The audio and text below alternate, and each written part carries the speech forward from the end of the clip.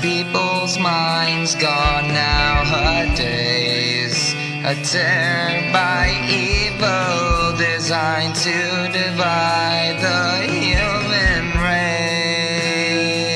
But most do not care, for they are deprived of morality. That to the whims of currency, hidden modern day slavery.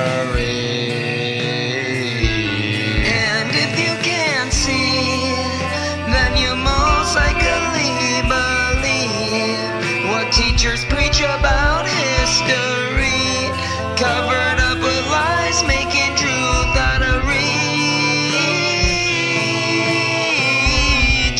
And every single time I try to open up their eyes, they're so into the disguised lies that they supply that all they can do is reject, deny, and despise. They cannot see that they wish upon us death, genocide, and domestic guys.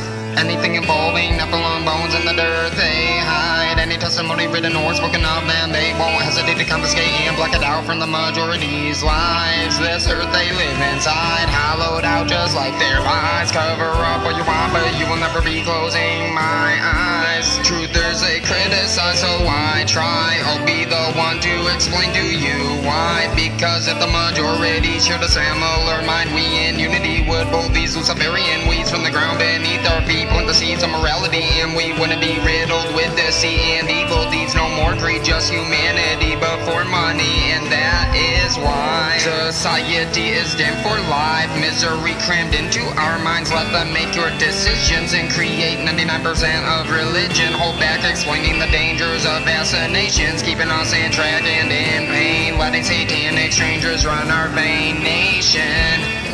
Us into submission, saying we are free is an understatement when they're slowly disintegrating our constitution, especially when we let the elites make up terror with 9-11. Security is another word for privacy invasion. Surveillance state cameras all over the place, even the one on your